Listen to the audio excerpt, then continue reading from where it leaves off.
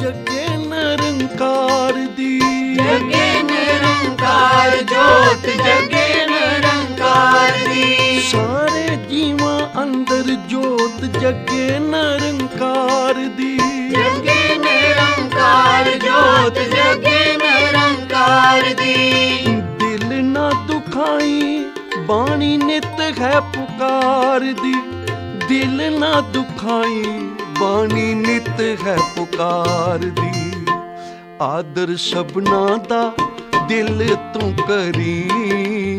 ਨੀਵਿਆਂ ਨੂੰ ਫਲ ਲੱਗਦੇ।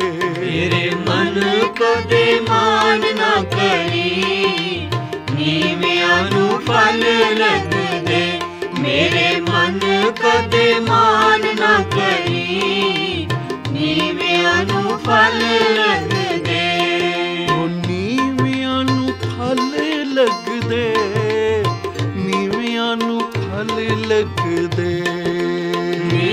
ਨੀਵਿਆਂ ਨੂੰ ਫਲ ਲੱਗਦੇ। ਨੀਵਿਆਂ ਨੂੰ ਫਲ ਲੱਗਦੇ। ਨੀਵਿਆਂ ਨੂੰ ਫਲ ਲੱਗਦੇ।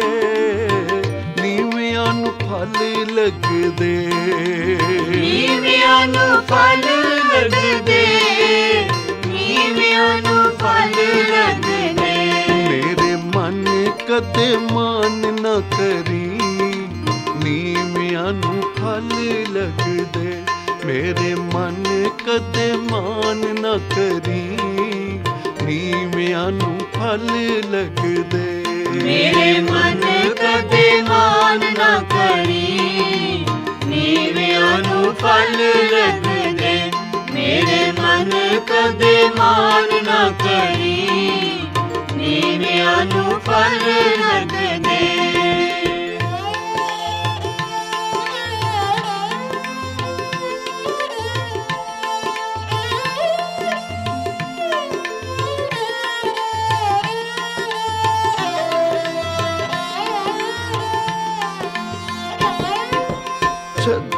ਹੀ ਗਰੀਬ ਦੀ ਅਸੀਸ ਲੈਣੀ ਚਾਹੀਦੀ। ਅਸੀਸ ਲੈਣੀ ਚਾਹੀਦੀ ਅਸੀਸ ਲੈਣੀ ਚਾਹੀਦੀ। ਸਦਾ ਹੀ ਗਰੀਬ ਦੀ ਅਸੀਸ ਲੈਣੀ ਚਾਹੀਦੀ। ਅਸੀਸ ਲੈਣੀ ਚਾਹੀਦੀ ਅਸੀਸ ਲੈਣੀ ਚਾਹੀਦੀ। ਸੇਵਾ ਕਰ ਗਰੀਬ ਦੀ ਪ੍ਰਭੂ ਦੀ ਖੁਸ਼ੀ ਪਾਈ ਦੀ ਸੇਵਾ ਕਰ ਗਰੀਬ ਦੀ ਕ ਪ੍ਰਭੂ ਦੀ ਖੁਸ਼ੀ ਪਾਈ ਜੀ। ਤੂੰ ਕਿਸੇ ਦਾ ਵੀ ਦਿਲ ਨਾ ਦੁਖਾਈ। ਨੀਵਿਆਂ ਨੂੰ ਫਲ ਲੱਗਦੇ। ਤੂੰ ਕਿਸੇ ਦਾ ਵੀ ਦਿਲ ਨਾ ਦੁਖਾਈ। ਨੀਵਿਆਂ ਨੂੰ ਫਲ ਲੱਗਦੇ। ਮੇਰੇ ਮਨ ਕਦੇ ਮਾਨ ਨਾ ਕਰੀ। ਨੀਵਿਆਂ ਨੂੰ ਫਲ ਲੱਗਦੇ। ਮੇਰੇ ਮਨ ਕਦੇ ਮਾਨ ਨਾ ਕਰੀ। ਨੀਵਿਆਂ ਨੂੰ ਫਲ ਲੱਗਦੇ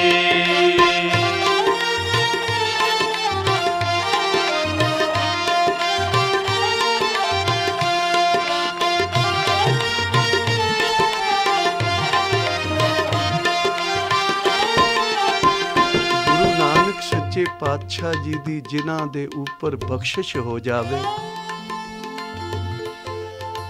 ਰਹਿਮਤ ਹੋ ਜਾਵੇ, ਉਹ ਫਿਰ ਸਭ ਕੁਝ ਪਾ ਕੇ ਵੀ ਆਪਣਾ ਜੀਵਨ, ਨਿਮਰਤਾ ਦਾ ਜੀਵਨ ਬਤੀਤ ਕਰਦੇ ਹਨ। ਕਈ ਵੇਰਾਂ ਮਨੁੱਖ ਧਨ, ਦੌਲਤ, ਪ੍ਰਤਿਸ਼ਠਾ ਪਾ ਕੇ ਹੰਕਾਰਿਆ ਜਾਂਦਾ ਹੈ। ਪਰ ਐਸੇ ਵਿਅਕਤੀ ਕਦੇ ਵੀ ਸੰਸਾਰ ਵਿੱਚ ਮਾਨ ਨਹੀਂ ਪਾਉਂਦੇ। ਜਿਨ੍ਹਾਂ ਨੇ ਸਭ ਕੁਝ ਪਾ ਕੇ ਵੀ ਨਿਮਰਤਾ ਧਾਰਨ ਕੀਤੀ ਹੈ, ਉਹਨਾਂ ਦਾ ਸਦਾ ਆਦਰ ਹੋਇਆ ਉਹਨਾਂ ਦਾ ਸਦਾ ਸਤਕਾਰ ਕੀਤਾ ਸੰਸਾਰ ਕਬੀਰ ਜੀ ਕਹਿ ਰਹੇ ਹਨ ਕਿ ਬਾਂਸ ਬੜਾ ਹੀ ਬੂਡਿਆ ਇਉਂ ਮਤ ਬੂਡੋ ਕੋਏ, ਚੰਦਨ ਕੇ ਨਿਕਟੇ ਬਸੇ ਬਾਂਸ ਸੁਗੰਧ ਨਾ ਹੋਏ। ਚੰਦਨ ਦੇ ਬੂਟੇ ਦੇ ਆਲੇ ਦੁਆਲੇ ਜਿਤਨੀ ਬਨਸਪਤੀ ਹੁੰਦੀ ਹੈ, ਸਾਰੀ ਹੀ ਚੰਦਨ ਹੋ ਜਾਂਦੀ ਹੈ, ਪਰ ਇੱਕ ਬਾਂਸ ਚੰਦਨ ਨਹੀਂ ਹੁੰਦਾ। ਕਿਉਂਕਿ ਉਹ ਅਹੰਕਾਰ ਹੈ, ਹੰਕਾਰੀ ਹੈ। ਉਸ ਦੇ ਵਿੱਚ ਪੰਜ ਦੋਸ਼ ਹਨ। ਇੱਕ ਤਾਂ ਉਹ ਸਾਰਿਆਂ ਤੋਂ ਆਪਣੇ ਆਪ ਨੂੰ ਉੱਚਾ ਸਮਝਦਾ ਹੈ ਕਿ ਮੈਂ ਸਾਰੀ ਬਨਸਪਤੀ ਤੋਂ ਉੱਚਾ ਹਾਂ। ਦੂਸਰਾ, ਉਹ ਗੰਢਾਂ ਵਾਲਾ ਹੁੰਦਾ ਹੈ। ਤੀਸਰਾ ਕੋਈ ਉਸ ਨੂੰ ਪਿਆਰ ਦੇ ਨਾਲ ਵੀ ਹੱਥ ਫੇਰੇ ਤਾਂ ਛੋਟੇ-ਛੋਟੇ ਕੰਡੇ ਚੁੱਭ ਜਾਂਦੇ ਹਨ ਹੱਥ ਵਿੱਚ। ਤੇ ਚੌਥਾ ਉਹਦੇ ਵਿੱਚ ਇਹ ਅਵਗੁਣ ਹੈ ਕਿ ਬਾਹਰੋਂ ਬੜਾ ਪੱਕਾ ਔਰ ਬੜਾ ਮਜ਼ਬੂਤ ਦਿਖਾਈ ਦਿੰਦਾ ਹੈ, ਪਰ ਅੰਦਰੋਂ ਖਾਲੀ ਹੁੰਦਾ ਹੈ। ਤੇ ਪੰਜਵਾਂ ਉਹਦੇ ਵਿੱਚ ਇਹ ਦੋਸ਼ ਹੈ ਕਿ ਜਦੋਂ ਬਾਂਸ ਦੇ ਨਾਲ ਬਾਂਸ ਰਗੜ ਦਈਏ ਤਾਂ ਅੱਗ ਲੱਗ ਜਾਂਦੀ ਹੈ। ਜੰਗਲਾਂ ਦੇ ਜੰਗਲ ਸੜ ਜਾਂਦੇ ਹਨ, ਸੁਆਹ ਹੋ ਜਾਂਦੇ ਹਨ। ਇਸ ਲਈ ਬਾਂਸ ਨੂੰ ਕੁੱਲ ਘਾਤਕ ਵੀ ਕਿਹਾ ਇਸੇ ਤਰ੍ਹਾਂ ਹੰਕਾਰੀ ਪੁਰਸ਼ ਵਿੱਚ ਵੀ ਪੰਜ ਦੋਸ਼ ਹੁੰਦੇ ਹਨ, ਜਿਸ ਕਰਕੇ ਉਸ ਅਕਾਲ ਪੁਰਖ ਵਾਹਿਗੁਰੂ ਦੀ ਬਖਸ਼ਿਸ਼ ਤੋਂ ਖਾਲੀ ਰਹਿ ਜਾਂਦਾ ਹੈ। ਆਪਣੇ ਆਪ ਤੋਂ ਸਭ ਨੂੰ ਨੀਵਾ ਸਮਝਦਾ ਹੈ। ਆਪਸ ਕੋ ਦੀਰਗ ਕਰ ਜਾਣੇ, ਔਰਨ ਕੋ ਲਗ ਮਾਤ। ਆਪ ਤੋਂ ਉੱਤੇ ਕਿਸੇ ਨੂੰ ਸਮਝਦਾ ਹੀ ਨਹੀਂ ਜਿਹੜਾ ਹੰਕਾਰੀ ਪੁਰਸ਼ ਹੈ। ਫਿਰ ਗੰਢਾਂ ਵਾਲਾ ਵੀ ਹੈ, ਮਨ ਨਹੀਂ ਪ੍ਰੀਤ, ਮੁਖੋਂ ਗੰਢ ਲਾਵਤ। ਮਨ ਵਿੱਚ ਕੁਝ ਹੋਰ ਹੈ, ਰਸਨਾ ਤੇ ਕੁਝ ਹੋਰ ਹੈ। ਜੇ ਕੋਈ ਪਿਆਰ ਵੀ ਕਰਦਾ ਹੈ, ਤਾਂ ਉਹਨੂੰ ਵੀ ਉਹ ਚੋਭਾਂ ਹੀ ਦਿੰਦਾ ਹੈ, ਦੁੱਖ ਹੀ ਪਹੁੰਚਾਉਣ ਦਾ ਯਤਨ ਕਰਦਾ ਹੈ। ਤੇ ਫਿਰ ਮਨਮੁਖ ਵਿੱਚ ਇੱਕ ਹੋਰ ਵੀ ਔਗਣ ਹੈ ਕਿ ਬਾਹਰੋਂ ਉਹ ਬੜੇ ਸੋਹਣੇ ਪਵਿੱਤਰ, ਸੋਹਣੇ ਬਚਨ ਕਰਦਾ ਹੈ, ਜਿਵੇਂ ਬਹੁਤ ਹੀ ਸੰਤ ਹੈ। ਬੜਾ ਗੁਰਸਿੱਖ ਹੈ, ਬੜਾ ਸਾਧ ਹੈ, ਪਰ ਅੰਦਰੋਂ ਗੁਣਾ ਤੋਂ ਖਾਲੀ ਹੁੰਦਾ ਹੈ।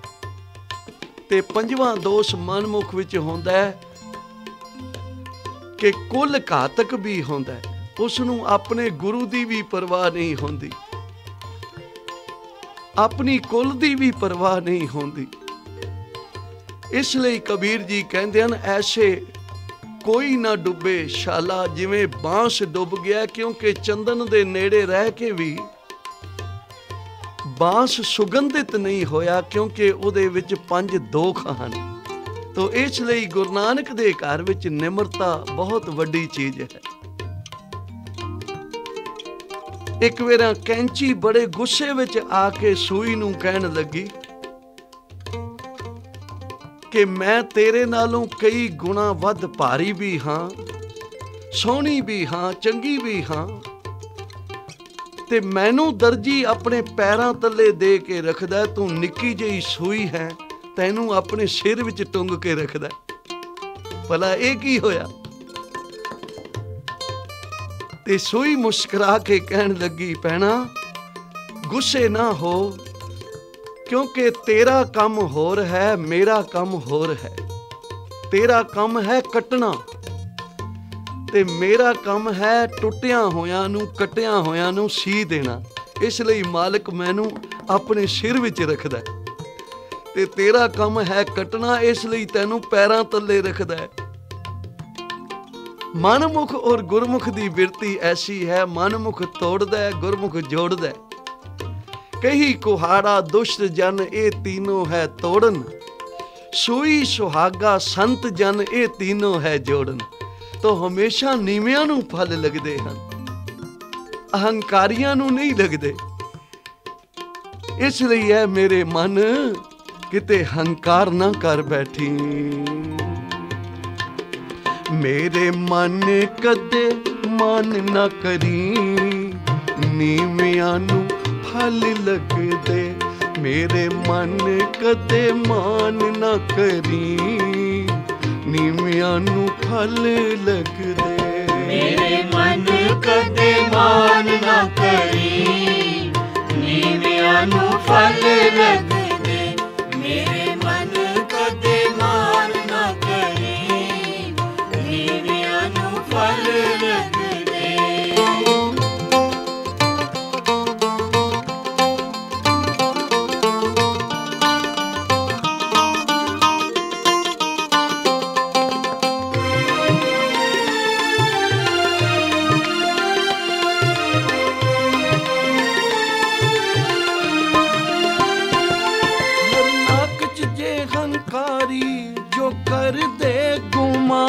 ਸੀ ਜੋ ਕਰਦੇ ਗੁਮਾਨ ਸੀ ਜੋ ਕਰਦੇ ਗੁਮਾਨ ਸੀ। ਹਰ ਨੱਕ ਚ ਜੇ ਹੰਕਾਰੀ ਜੋ ਕਰਦੇ ਗੁਮਾਨ ਸੀ। ਜੋ ਕਰਦੇ ਗੁਮਾਨ ਸੀ ਜੋ ਕਰਦੇ ਗੁਮਾਨ ਸੀ। ਕੰਬਦੀ ਸੀ ਧਰਤੀ ਤੇ ਡਰਦਾ ਜਹਾਨ ਸੀ। ਡਰਦਾ ਜਹਾਨ ਸੀ ਤੇ ਡਰਦਾ ਜਹਾਨ ਸੀ। ਦੁਸ਼ਟ ਹਰ ਨਾਕਚ ਦਾ ਹੋਇਆ ਸੰਘਾਰ ਜੀ, ਭਗਤ ਪ੍ਰਹਿਲਾਦ ਦੀ ਹੋਈ ਜੈ ਜੈਕਾਰ ਜੀ। ਹੰਕਾਰੀਆਂ ਦਾ ਸੰਗ ਨਾ ਕਰੀ, ਨੀਵਿਆਂ ਨੂੰ ਫਲ ਲੱਗਦੇ। ਹੰਕਾਰੀਆਂ ਦਾ ਸੰਗ ਨਾ ਕਰੀ ਨੀਵਿਆਂ ਨੂੰ ਫਲ ਲੱਗਦੇ। ਮੇਰੇ ਮਨ ਕਦੇ ਮਾਨ ਨਾ ਕਰੀ। ਨੀਵਿਆਂ ਨੂੰ ਫਲ ਲੱਗਦੇ। ਮੇਰੇ ਮਨ ਕਦੇ ਮਾਨ ਨਾ ਕਰੀ। ਨੀਵਿਆਂ ਨੂੰ ਫਲ ਲੱਗਦੇ।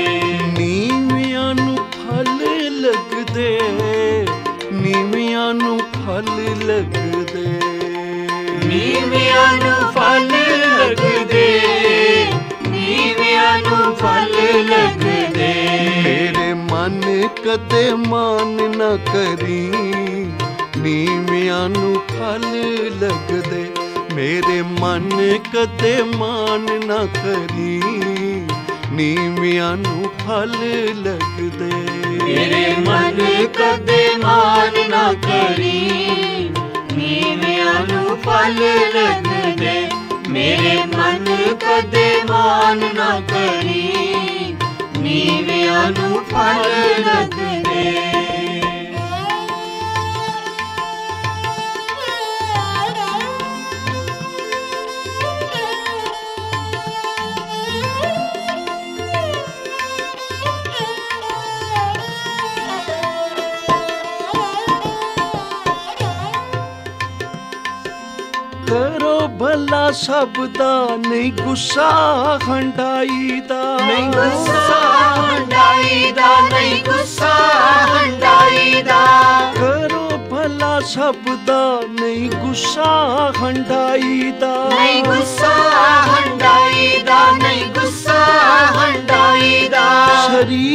ਅਰੋਗ ਰਹਿੰਦਾ ਨਾਲੇ ਪ੍ਰਭੂ ਜੀ ਨੂੰ ਪਾਈਦਾ। ਪ੍ਰਭੂ ਜੀ ਨੂੰ ਪਾਈਦਾ ਪ੍ਰਭੂ ਜੀ ਨੂੰ ਪਾਈਦਾ। ਸਰੀਰ ਅਰੋਗ ਰਹਿੰਦਾ ਨਾਲੇ ਪ੍ਰਭੂ ਜੀ ਨੂੰ ਪਾਈਦਾ। ਪ੍ਰਭੂ ਜੀ ਨੂੰ ਪਾਈਦਾ ਪ੍ਰਭੂ ਜੀ ਨੂੰ ਪਾਈਦਾ। ਹੋ ਕੇ ਨਿਮਾਣਾ ਜਗ ਜੀਵਨ ਗੁਜ਼ਾਰ ਲੈ ਹੋ ਕੇ ਨਿਮਾਣਾ ਜਗ ਜੀਵਨ ਗੁਜ਼ਾਰ ਲੈ RAM ਨਾਮ ਜਪ ਕੇ ਤੂੰ ਜ਼ਿੰਦਗੀ ਸੰਵਾਰ ਲੈ ਸਦਾ ਕਰੀਏ ਸ਼ੁਕਰਾਨਾ ਹਰੀਦਾ ਨੀਵਿਆਂ ਨੂੰ ਫਲ ਲੱਗਦੇ ਸਦਾ ਕਰੀਏ ਸ਼ੁਕਰਾਨਾ ਉਸ ਹਰੀ ਦਾ ਨੀਵਿਆਂ ਨੂੰ ਫਲ ਲੱਗਦੇ ਮੇਰੇ ਮਨ ਕਦੇ ਮਾਨ ਨਹੀਂ ਕਰੀ ਨੀਵਿਆਂ ਨੂੰ ਫਲ ਲੱਗਦੇ ਮੇਰੇ ਮਨ ਕਦੇ ਮਾਨ ਨਾ ਕਰੀ। ਨੀਵਿਆਂ ਨੂੰ ਫਲ ਲੱਗਦੇ ਮੇਰੇ ਮਨ ਕਦੇ ਮਾਨ ਨਾ ਕਰੀ। ਨੀਵਿਆਂ ਨੂੰ ਫਲ ਲੱਗਦੇ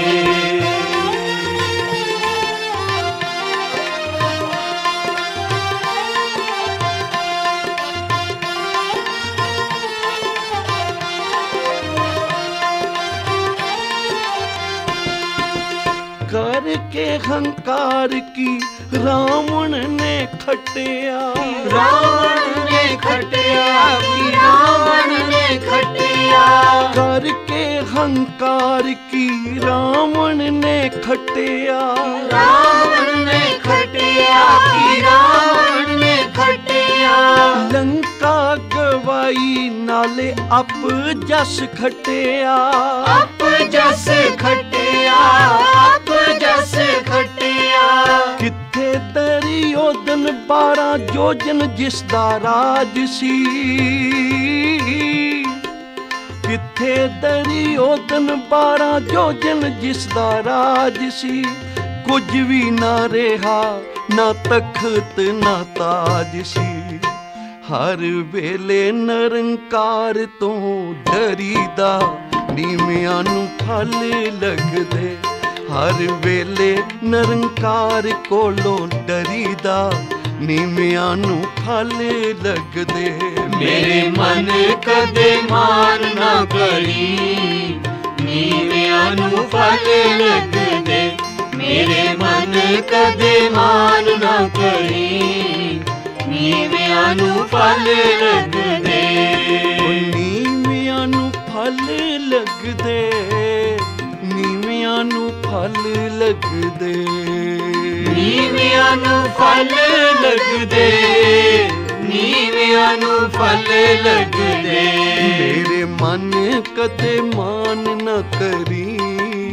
ਨੀਵਿਆਂ ਨੂੰ ਫਲ ਲੱਗਦੇ, ਮੇਰੇ ਮਨ ਕਦੇ ਮਾਨ ਨਾ ਕਰੀ।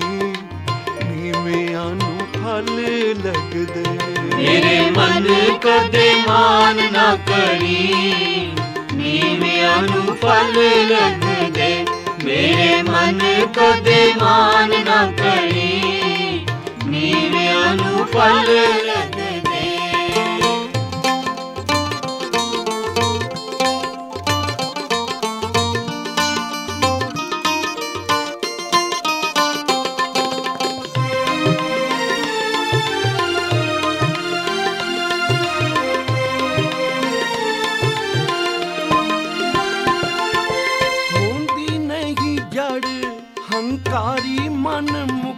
ਦੀ। ਹੰਕਾਰੀ ਮਨ ਮੁਖਾਂ ਦੀ ਹੰਕਾਰੀ ਮਨ ਮੁਖਾਂ ਦੀ।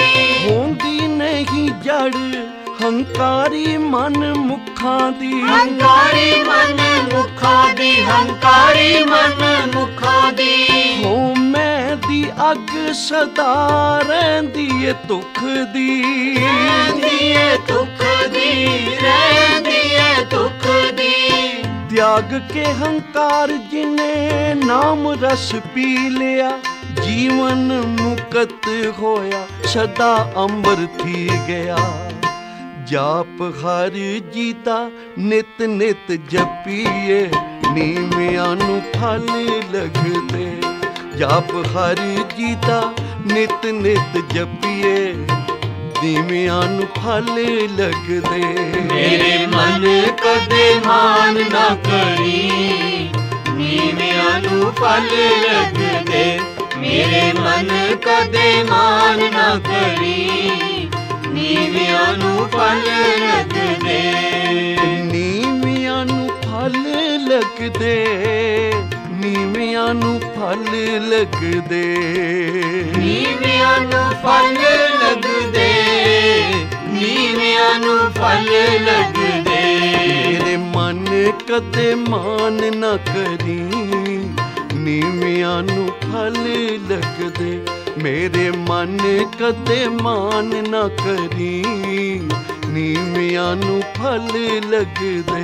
ਮੇਰੇ ਮਨ ਕਦੇ ਮਾਨ ਨਾ ਕਰੀ। ਨੀਵਿਆਂ ਨੂੰ ਫਲ ਲਗਦੇ।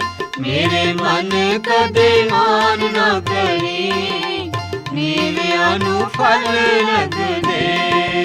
ਸਦਾ ਜਿਨ੍ਹਾਂ ਨੇ ਨਿਮਰਤਾ ਦਾ ਜੀਵਨ ਬਤੀਤ ਕੀਤਾ ਹੈ,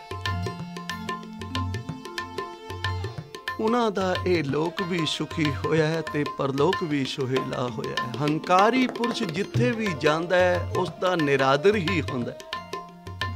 ਨਿਮਰਤਾ ਵਾਲਾ ਜਿੱਥੇ ਵੀ ਬੈਠਦਾ ਹੈ, ਸਾਰਾ ਸੰਸਾਰ ਉਸ ਦਾ ਆਦਰ ਕਰਦਾ ਹੈ। ਸੁਕਰਾਤ ਦੇ ਪਾਸ ਉਹਦੇ ਮਿੱਤਰ ਆਏ ਤੇ ਕਹਿਣ ਲੱਗੇ, ਬਈ ਤੂੰ ਸਾਡੀ ਕਲਾਸ ਵਿੱਚ ਪੜ੍ਹਿਆ ਅਸੀਂ ਰਲ ਕੇ ਪੜ੍ਹੇ ਹਾਂ, ਜਿਤਨੀ ਤੇਰੀ ਪੜ੍ਹਾਈ ਹੈ, ਉਤਨੀ ਹੀ ਮੇਰੀ ਪੜ੍ਹਾਈ ਹੈ। ਪਰ ਤੇਰੀ ਲੋਕ ਇੱਜ਼ਤ ਬਹੁਤ ਕਰਦੇ ਹਨ ਤੇ ਸਾਨੂੰ ਕੋਈ ਪੁੱਛਦਾ ਤੱਕ ਨਹੀਂ। ਇਹਦਾ ਕੀ ਕਾਰਨ ਹੈ? ਸੁਕਰਾਤ ਨੇ ਬੜਾ ਆਦਰ ਦਿੱਤਾ, ਮੇਰੇ ਮਿੱਤਰ ਆਏ ਹਨ ਕੁਝ। ਆਏ ਹੋ ਕੋਈ ਜਲ ਪਾਨ ਕਰੋ, ਮੇਰੇ ਗਰੀਬ ਦੇ ਘਰ ਚਰਨ ਪਾਏ ਹਨ। ਪਰ ਉਹ ਹੰਕਾਰੀ ਕਹਿਣ ਲੱਗੇ ਨਹੀਂ ਅਸੀਂ ਜਿਹੜੀ ਗੱਲ ਪੁੱਛਣ ਆਏ ਹਨ ਸਾਨੂੰ ਉਹ ਦੱਸ ਕੇ ਤੈਨੂੰ ਆਂਦਾ ਕੀ ਹੈ? ਸਾਡੇ ਨਾਲੋਂ ਵੱਧ ਤੈਨੂੰ ਕੀ ਆਉਂਦਾ? ਤੇ ਸੁਕਰਾਤ ਨਿਮਰਤਾ ਦੇ ਨਾਲ ਕਹਿਣ ਲੱਗਾ ਬਸ ਮੇਰੀ ਲੋਕ ਇਸੇ ਲਈ ਇੱਜ਼ਤ ਕਰਦੇ ਹਨ ਕਿ ਮੈਨੂੰ ਕੁਝ ਨਹੀਂ ਆਉਂਦਾ। ਉਚਾਰਨ ਕਰੋ ਸ੍ਰੀ ਵਾਹਿਗੁਰੂ ਜੀ। ਹਜ਼ੂਰ ਦਾ ਬਚਨ ਵੀ ਹੈ ਕਿ ਆਪਸ ਕੋ ਜੋ ਜਾਣੇ ਨੀਚਾ, ਸੋ ਗਨੀਐ ਸਭ ਤੇ ਉੱਚਾ। ਧੰਨ ਗੁਰੂ ਨਾਨਕ ਪਾਤਸ਼ਾਹ ਇੱਕ ਨਗਰ ਵਿੱਚੋਂ ਲੰਘ ਰਹੇ ਸਨ, ਇੱਕ ਪੰਸਾਰੀ ਦੀ ਦੁਕਾਨ ਤੇ ਆਪ ਖੜੋ ਗਏ। ਉਸਨੇ ਇੱਕ ਪਾਉ ਪਲੜੇ ਤੇ ਰੱਖਿਆ ਹੋਇਆ ਸੀ ਤੇ ਆਪ ਨੇ ਪਾਉ ਨੂੰ ਮੱਥਾ ਟੇਕਿਆ। ਮਰਦਾਨਾ ਕਹਿਣ ਲੱਗਾ, ਮਹਾਰਾਜ ਪਾਉ ਦੀ ਇਤਨੀ ਇੱਜ਼ਤ ਕਰ ਰਹੇ ਹੋ, ਇਤਨੀ ਕਦਰ ਕਰ ਰਹੇ ਹੋ। ਕਹਿਣ ਲੱਗੇ, ਮਰਦਾਨਿਆ, ਇਹ ਧਨ ਹੈ। ਇਸ ਨੇ ਆਪਣੇ ਆਪ ਨੂੰ ਪਾਉ ਸਦਾਇਆ ਨਹੀਂ ਤੇ ਹਰ ਮਨੁੱਖ ਆਪਣੇ ਆਪ ਨੂੰ ਸਵਾ ਸ਼ੇਰ ਸਦਾਉਂਦਾ ਹਰ ਆਦਮੀ ਆਪਣੇ ਆਪ ਨੂੰ ਉੱਚੇ ਤੋਂ ਉੱਚਾ ਸਦਵਾਉਣ ਲਈ ਤਿਆਰ ਹੈ। ਪਰ ਇਹ ਧਨ ਹੈ ਜਿਹੜਾ ਆਪਣੇ ਆਪ ਨੂੰ ਪਾਉ ਸਦਵਾ ਰਿਹਾ ਹੈ। ਮਰਦਾਨਿਆਂ, ਜਿਹੜੇ ਨਿਮਰਤਾ ਦੇ ਵਿੱਚ ਆਉਂਦੇ ਹਨ, ਉਹ ਸਭ ਤੋਂ ਉੱਚੇ ਹੋ ਜਾਂਦੇ ਹਨ। ਆ ਵੇਖਿਆ ਹੀ ਨਾ ਵਟਿਆਂ ਦੀ ਢੇਰੀ ਲੱਗੀ ਹੋਈ ਹੈ ਤੇ ਜਿਹੜੀ ਸਭ ਤੋਂ ਛੋਟੀ ਸਰਸਾਈ ਹੈ, ਉਹ ਸਾਰਿਆਂ ਦੇ ਸਿਰ ਤੇ ਬੈਠੀ ਹੈ। ਇਸੇ ਤਰ੍ਹਾਂ ਜਿਹੜਾ ਨਿਮਰਤਾ ਵਾਲਾ ਮਨੁੱਖ ਹੁੰਦਾ ਹੈ, ਉਹ ਸਾਰੀ ਸ੍ਰਿਸ਼ਟੀ ਤੇ ਰਾਜ ਕਰਦਾ ਹੈ। ਬਾਬਾ ਸ਼੍ਰੀ ਚੰਦ ਜੀ, ਜੋ ਧੰਨ ਗੁਰੂ ਨਾਨਕ ਪਾਤਸ਼ਾਹ ਜੀ ਦੇ ਸੁਪੁੱਤਰ ਸਨ, ਤੇ ਮਨ ਵਿੱਚ ਖਿਆਲ ਆਇਆ ਬਈ ਵੇਖੀਏ ਗੁਰੂ ਨਾਨਕ ਦੀ ਚੌਥੀ ਗੱਦੀ ਤੇ ਗੁਰੂ ਰਾਮਦਾਸ ਮਹਾਰਾਜ ਸ਼ਸ਼ੋਭਤ ਹਨ। ਕਿਉਂਕਿ ਧੰਨ ਗੁਰੂ ਨਾਨਕ ਪਾਤਸ਼ਾਹ ਸੰਸਾਰ ਤੇ ਨਿਮਰਤਾ ਲਿਆਏ ਸਨ। ਕੋਈ ਨਿਮਰਤਾ ਇਹਨਾਂ ਵਿੱਚ ਵੀ ਹੈ ਕਿ ਨਹੀਂ ਹੈ? ਤੇ ਜਦੋਂ ਆਪ ਗੁਰੂ ਰਾਮਦਾਸ ਮਹਾਰਾਜ ਜੀ ਦੇ ਦਰਬਾਰ ਵਿੱਚ ਆਏ, ਧੰਨ ਗੁਰੂ ਰਾਮਦਾਸ ਪਾਤਸ਼ਾਹ ਜੀ ਨੇ ਅਥਾਹ ਪਿਆਰ ਕੀਤਾ, ਅਥਾਹ ਅਦਬ ਕੀਤਾ ਤੇ ਬਾਬਾ ਸ੍ਰੀ ਚੰਦ ਜੀ, ਕਿਉਂਕਿ ਗੁਰੂ ਰਾਮਦਾਸ ਮਹਾਰਾਜ ਦਾ ਦਾੜਾ ਬਹੁਤ ਲੰਬਾ ਸੀ। ਤੇ ਬਾਬਾ ਸ੍ਰੀ ਚੰਦ ਜੀ ਕਹਿਣ ਲੱਗੇ, ਇਹ ਦਾੜਾ ਕਾਦੇ ਵਾਸਤੇ ਏਡਾ ਲੰਬਾ ਵਧਾਇਆ ਤਾਂ ਧੰਨ ਗੁਰੂ ਰਾਮਦਾਸ ਪਾਤਸ਼ਾਹ ਇਸ ਦਾੜੇ ਨਾਲ ਉਹਨਾਂ ਦੇ ਚਰਨ ਚਾੜਨ ਲੱਗੇ। ਮੇਰੇ ਹਜ਼ੂਰ, ਮੇਰੇ ਮਾਲਿਕ, ਇਹ ਤੁਹਾਡੇ ਚਰਨਾਂ ਨੂੰ ਸਾਫ਼ ਕਰਨ ਲਈ ਵਧਾਇਆ ਤਾਂ ਬਾਬਾ ਸ੍ਰੀ ਚੰਦ ਜੀ ਦੇ ਨੈਣ ਕਟੋਰੇ ਭਰ ਆਏ। ਕਹਿਣ ਲੱਗੇ, ਇਸੇ ਨਿਮਰਤਾ ਦੇ ਸਦਕੇ ਹੀ ਤੁਸੀਂ ਸਭ ਕੁਝ ਲੈ ਗਏ ਹੋ। ਇਹ ਨਿਮਰਤਾ ਸਾਡੇ ਵਿੱਚ ਹੁੰਦੀ ਤਾਂ ਅਸੀਂ ਕੁਝ ਲੈ ਸਕਦੇ ਸਾਂ। ਪਰ ਜੋ ਕੁਝ ਵੀ ਹੈ, ਤੁਸੀਂ ਨਿਮਰਤਾ ਦੇ ਵਿੱਚ ਹੀ ਸਭ ਕੁਝ ਲੈ ਗਏ ਹੋ। ਤਾਂ ਇਸ ਲਈ ਨਿਮਰਤਾ ਹੀ ਗੁਰੂ ਨਾਨਕ ਦਾ ਖਜ਼ਾਨਾ ਹੈ। ਨਿਮਰਤਾ ਹੀ ਵੱਡੀ ਦਾਤ ਹੈ। ਨਾਮ ਬੀਜ ਸੰਤੋਖ ਸੁਹਾਗਾ, ਰਖ ਗਰੀਬੀ ਵੇਸ਼। ਜਿੱਥੇ ਮਨੁੱਖ ਨੇ ਨਾਮ ਦਾ ਬੀਜ ਬੋਣਾ ਇਸ ਸਰੀਰ ਰੂਪੀ ਧਰਤੀ ਤੇ ਸੰਤੋਖ ਦਾ ਸੁਹਾਗਾ ਫੇਰਨਾ ਤੇ ਫਿਰ ਨਿਮਰਤਾ ਦੀ ਵਾੜ ਵੀ ਕਰਨੀ ਹੈ ਉਸ ਖੇਤੀ ਨੂੰ, ਤਾਂ ਕਿ ਖੇਤੀ ਨੂੰ ਕੋਈ ਉਜਾੜ ਨਾ ਸਕੇ। ਕਿਉਂਕਿ ਹੰਕਾਰ ਆ ਗਿਆ ਤਾਂ ਖੇਤੀ ਉਜੜ ਗਈ। ਇਸ ਲਈ ਮੇਰੇ ਮਨ ਕਦੇ ਮਾਨ ਨਾ ਕਰੀ ਨੀਵਿਆਂ ਨੂੰ ਫਲ ਲੱਗਦੇ। ਮੇਰੇ ਮਨ ਕਦੇ ਮਾਨ ਨਾ ਕਰੀ। ਨੀਵਿਆਂ ਨੂੰ ਫਲ ਲੱਗਦੇ, ਮੇਰੇ ਮਨ ਕਦੇ ਮਾਨ ਨਾ ਕਰੀ। ਨੀਵਿਆਂ ਨੂੰ ਫਲ ਲੱਗਦੇ, ਮੇਰੇ ਮਨ ਕਦੇ ਮਾਨ ਨਾ ਕਰੀ। ਨੀਵਿਆਂ ਨੂੰ ਫਲ ਲੱਗਦੇ, ਮੇਰੇ ਮਨ ਕਦੇ ਮਾਨ ਨਾ ਕਰੀ। ਨੀਵਿਆਂ ਨੂੰ ਫਲ ਲੱਗਦੇ ਸਤਨਾਮ ਵਾਹਿਗੁਰੂ ਸਤਨਾਮ ਵਾਹਿਗੁਰੂ ਸਤਨਾਮ ਵਾਹਿਗੁਰੂ ਸਤਨਾਮ ਵਾਹਿਗੁਰੂ ਸਤਨਾਮ ਵਾਹਿਗੁਰੂ ਸਤਨਾਮ ਵਾਹਿਗੁਰੂ ਸਤਨਾਮ ਵਾਹਿਗੁਰੂ ਸਤਨਾਮ ਵਾਹਿਗੁਰੂ ਵਾਹਿਗੁਰੂ ਵਾਹਿਗੁਰੂ ਵਾਹਿਗੁਰੂ ਵਾਹਿਗੁਰੂ ਵਾਹਿਗੁਰੂ ਵਾਹਿਗੁਰੂ ਵਾਹਿਗੁਰੂ ਵਾਹਿਗੁਰੂ ਵਾਹਿਗੁਰੂ ਵਾਹਿਗੁਰੂ ਵਾਹਿਗੁਰੂ ਵਾਹਿਗੁਰੂ ਵਾਹਿਗੁਰੂ ਵਾਹਿਗੁਰੂ ਵਾਹਿਗੁਰੂ ਵਾਹਿਗੁਰੂ ਵਾਹਿਗੁਰੂ ਵਾਹਿਗੁਰੂ ਵਾਹਿਗੁਰੂ ਵਾਹਿਗੁਰੂ ਵਾਹਿਗੁਰੂ ਵਾਹਿਗੁਰੂ ਵਾਹਿਗੁਰੂ ਮੇਰੇ ਮਨ ਕਦੇ ਮਾਨ ਨਾ ਕਰੀ ਨੀਵਿਆਂ ਨੂੰ ਫਲ ਲੱਗਦੇ ਮੇਰੇ ਮਨ ਕਦੇ ਮਾਨ ਨਾ ਕਰੀ ਨੀਵਿਆਂ ਨੂੰ ਫਲ ਲੱਗਦੇ ਮੇਰੇ ਮਨ ਕਦੇ ਮਾਨ ਨਾ ਕਰੀ ਨੀਵਿਆਂ ਨੂੰ ਫਲ ਲੱਗਦੇ, ਮੇਰੇ ਮਨ ਕਦੇ ਮਾਨ ਨਾ ਕਰੀ ਨੀਵਿਆਂ ਨੂੰ ਫਲ ਲੱਗਦੇ।